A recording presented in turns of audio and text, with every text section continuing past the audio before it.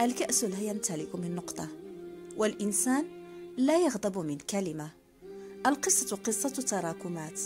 نصغر عشرين عاما بكل كلمة طيبة تقال لنا ونكبر ألف عام ونحمل داخلنا ثقل السنين مع كل كلمة موجعة. مخطئ من يظن أن الكلام يسمع عبثا. إنما تصنعون حقا هي الأحاديث الجميلة الكلمة الطيبة اللطف والمودة. إن الإنسان كائن هش. كلمة طيبة قادرة أن ترفعه عاليا وكلمة جارحة قادرة على طرحه أرضا.